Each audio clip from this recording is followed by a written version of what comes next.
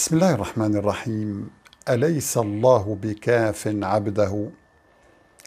ويخوفونك بالذين من دونه ومن يضلل الله فما له من هاد. أيها الأحبة هذه آية حقيقة استوقفتني. أحببت أن أتوقف معها بالتأمل والتدبر لأنها مناسبة لعصرنا هذا عصر. الخوف للأسف كل شيء من حولنا للأسف يدعونا للخوف. إذا ضرب زلزال في منطقة تجد الإعلام العالمي يعمل على تخويف الناس.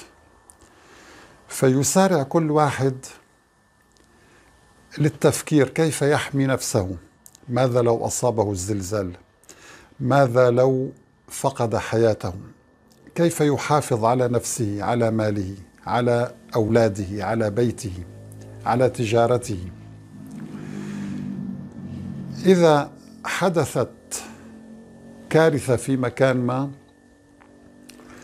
يبدأ الإعلام بالتضخيم لهذا الحدث ليخوف الناس أكثر. إذا انتشر فيروس أو وباء كل يوم يخرجون بأخبار مليئة بالخوف تجعلنا نخاف على حياتنا. وكأن هدف الإنسان هو فقط أن يعيش. ليس لديه هدف آخر. ويخوفونك بالذين من دونه. أيها الأحبة الخوف الحقيقي يجب أن يكون من الله سبحانه وتعالى. يجب أن يكون من عذاب الله. يجب أن يكون من الآخرة أن نحذر الآخرة. يجب أن يكون خوفنا من نار جهنم والعياذ بالله. أما هذه الدنيا فهي هالكة فانية مهما عشت ومهما جمعت سوف تهلك. الله تعالى يقول كل شيء هالك إلا وجهه سبحانه وتعالى. كل شيء هالك إلا وجهه. ما دمنا وضعنا هذه الحقيقة أمامنا اذا ينبغي ألا نخاف. ينبغي أن نستعد للآخرة. هذا هو حال الإنسان الذي يريد أن يعيش حياة مطمئنة أن يستعد للآخرة. أربع كلمات حقيقة تكفي كعلاج لأعتى أنواع المخاوف. أليس الله بكاف عبده؟ أربع كلمات فقط. فكر فيها جيدا أخي الحبيب. أليس الله بكاف عبده؟ فقط أربع كلمات. استيقن أن الله يكفيك كل شر يمكن أن يحدث. استيقن أن الله قادر على أن يكفيك هم الرزق أن يكفيك هم المرض أن يكفي أولادك من بعدك. ثق يعني يجب أن تكون في حالة ثقة تامة أن هذا الإله العظيم بيده كل شيء. أيها الأحبة يجب أن تحدد نظرتك للحياة. من الذي يتحكم بالكون؟ يجب أن تقرر هذا في دماغك لكي تعيش حياة مطمئنة حياة هادئة حياة فيها شيء من السعادة وليست حياة مليئة بالمخاوف. من الذي يحكم ويتحكم بكل شيء من حولنا؟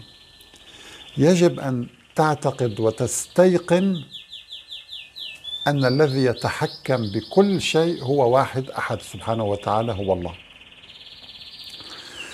الله هو الذي يقرر حركة كل ذرة في الكون. حركة يدي هذه التي أحركها أنا الآن مقررة عند الله في كتاب مبين.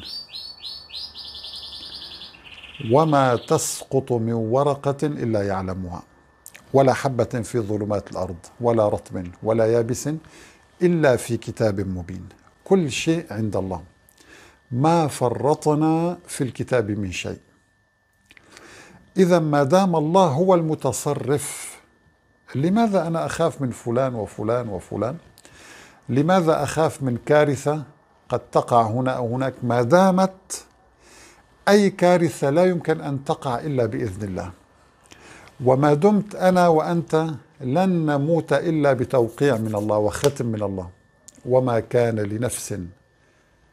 دقق أخي احفظ هذه الآية رجاء احفظها. وما كان لنفس أن تموت إلا بإذن الله. يجب أن يصدر الأمر والإذن من فوق من فوق من الله عز وجل. وما كان لنفس أن تموت إلا بإذن الله. لكل أجل كتاب. اذا أنا كتاب الأجل الخاص بي وبك موجود ومكتوب ومحفوظ ومفصل عند الله تبارك وتعالى. مهما فعلت لن تستطيع أن تغير أي شيء لكل أجل كتاب. كل نفس ذائقة الموت وإنما توفون أجوركم يوم القيامة. انظر الله يريدك ألا تفكر كثيرا بالموت فكر بما بعد الموت. الموت هو مرحلة انتقالية فقط. فمن زحزح عن النار وأدخل الجنة فقد فاز. وما الحياة الدنيا إلا متاع الغرور. تفكر بحياة هي فانية كل من عليها فان. زائلة لا تساوي شيئا يا أخي. فكر ماذا ستفعل بعد الموت. لم تمت اليوم ستموت غدا أو بعد غد أو بعد مئة سنة ستموت. كل من عليها فان. لذلك آه، اليوم آه، يعني أنا أحببت أخي الحبيب أن تضع في أعماق نفسك قناعة راسخة من أربع كلمات. أليس الله بكاف عبده؟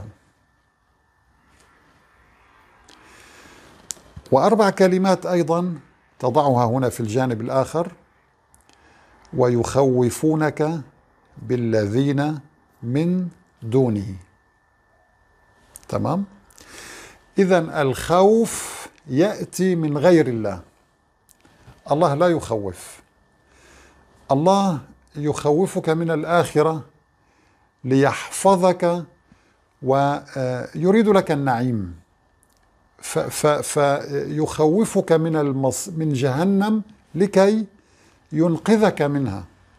أحدنا يخوف ابنه من شر الطريق لكي لا تصدمه السيارة مثلا.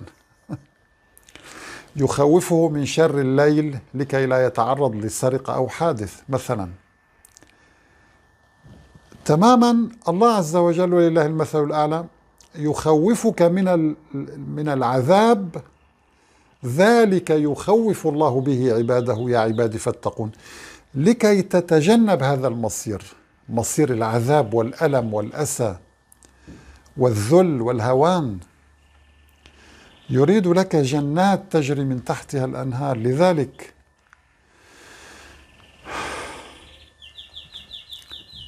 أليس الله بكاف عبده؟ وهنا الآية بدأت بصيغة السؤال. لماذا أخي الحبيب؟ لأنك ينبغي أن تعتقد بالفعل أن الله يكفيك. يعني أنت تعترف أن الله خلقك وأن الله هو الذي يرزقك وتعترف أن الله هو مالك الملك وتعترف أن كل ذرة من حولنا خلقها الله ويتحكم بها الله. طيب بعد كل وأنت ترى أمامك كيف يرزق الله الطيور؟ هناك طيور تحلق في السماء بالقرب من جبال الألب. تبقى ستة أشهر وهي تطير في الجو تنام وتتغذى وهي طائرة. لا تحط على الأرض. كيف ضمن الله لها الرزق وهي في الجو معلقة في السماء؟ هناك نمل أعمى في في في في تحت الأرض. الله يرزقه. هناك نباتات لا تتوقع كيف أن الله يرزقها. تأكل حشرات مثلا. هناك أسماك في أعماق المحيط زودها الله بإضاءة تسمى إضاءة حيوية. و و وتستطيع أن تصعق فريستها بالكهرباء. هيأ لها أسباب الرزق لترى طريقها في هذه الظلمات وتكسب رزقها. لم ينسها الله. أنت أنت موقن بذلك. طيب بعد كل ما تراه من حولك أليس الله بكاف عبده؟ يعني يعني ألا يكفيك أن الله كفاك الشر وأنت جنين في بطن أمك؟ يعني أحدنا عندما كان عمره أسابيع في بطن أمه. في ظلمات الرحم كان يأتيه الرزق. هناك أجهزة محاط بأجهزة لضبط درجة الحرارة درجة الملوحة. العناصر التي يتغذى عليها بالضبط نسبة الحديد والكالسيوم والكذا. كل هذا الأمر الله هيأه لك وأنت جنين صغير طولك سنتيمتر في, في رحم أمك. كفاك الله كل الشرور التي يمكن أن تتعرض لها. طيب بعد أن كبرت وقلت يا رب ألا يكفيك الله؟ هل هذا الإله عاجز أن يكفي عبدا يقول يا الله؟ لذلك أخي الحبيب احفظ هذه الآية. ماذا ستخسر؟ هذه الآية في سورة الزمر. سورة الزمر سورة عظيمة جدا من روائع السور في القرآن والقرآن كله عظيم. أليس الله بكاف عبده؟ كلما ضاقت بك الدنيا ضاق بك الرزق أحسست بالخوف. كلما حملت هما بسبب الذين يخوفونك من دونه. هؤلاء الذين يخوفونك من المستقبل. يخوفونك من المرض من النقص من المشاكل الاقتصاديه يخوفونك من ظلم الآخرين. يخوفونك من مجاعة قد تحدث. أليس الله بكاف عبده؟ ردد هذه الآية دائما رددها احفظها. أليس الله بكاف عبده؟ وتذكر مباشرة أن الذي يخوفك هو الشيطان. إنما ذلكم الشيطان يخوف أولياءه. فلا تخافوهم وخافوني إن كنتم مؤمنين. قمة السعادة والله أيها الأحبة أن تخاف الله عز وجل. سوف تشعر بسعادة عظيمة جدا لا يمكن وصفها. لماذا؟ لأن خوفك من الله عندما تخاف من الله أنت تتقي بوجهك سوء العذاب. أنت تتقي نار جهنم تضع بينك وبين جهنم وقاية من خلال طاعتك لله وخوفك من الله سبحانه وتعالى. هذا الخوف من الله لماذا يشعرك بالسعادة؟ لأنك تعلم أن الله رحيم وكريم وعليم حكيم. عليم بحالك حكيم ينزل كل شيء بمقدار. وتعلم أن هذا الإله عادل لا يظلم. وتعلم أن هذا الإله الكريم لا ينسى أحدا من فضله. وتعلم أن هذا الإله قادر أن يرزقك قادر أن يحفظك قادر أن يحميك قادر أن يكفيك. وبالتالي عندما تقول أليس الله بكاف عبده ويخوفونك بالذين من دونه إذا لا تخاف لا تخاف من هؤلاء يا أخي. أقصى شيء يمكن أن نتخيله هو الموت. طيب ماذا بعد الموت؟ لقاء الله سبحانه وتعالى. والموت مكتوب ومقدر وكل واحد سيموت في في في اللحظة التي قدرها الله. نحن قدرنا بينكم الموت وما نحن بمسبوقين. إذا هنا أيها الأحبة فريق من الناس يضل. لذلك قال تعالى ومن يضلل الله فما له من هاد. هؤلاء الذين يخافون من الشيطان يخافون من الأوهام يخافون من فلان وفلان. آخر ما يخطر ببالهم هو الله عز وجل. مع العلم أن الله هو مالك الملك. هو المتحكم بكل شيء. أخي الحبيب. والله عز وجل كتب عليك كل شيء. هذه عقيدة مريحة جدا. يعني أنا أرتاح جدا عندما أعلم أن كل شيء كتبه الله. أرتاح. لماذا أفكر بمرض بنقص بظلم بأذى بشيء؟ لماذا أفكر؟ لا. كل شيء مقدر. أنا مهمتي الآن أن أحمد الله أستعد للقاء الله. ألا أخاف إلا من الله سبحانه وتعالى. آه، أن أحفظ هذا الكلام لأن الله سيسألني عن هذا الكلام.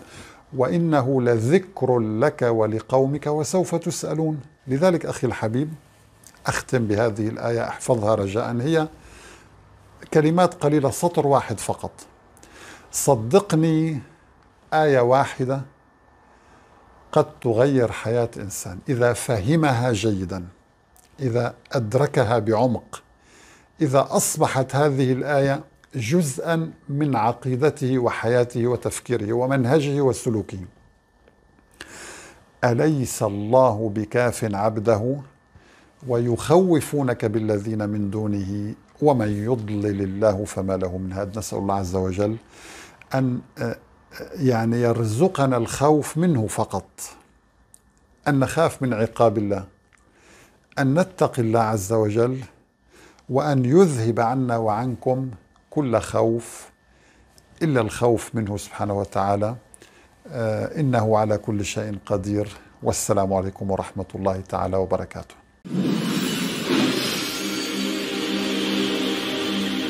حتى يتبين لهم أنه الحق.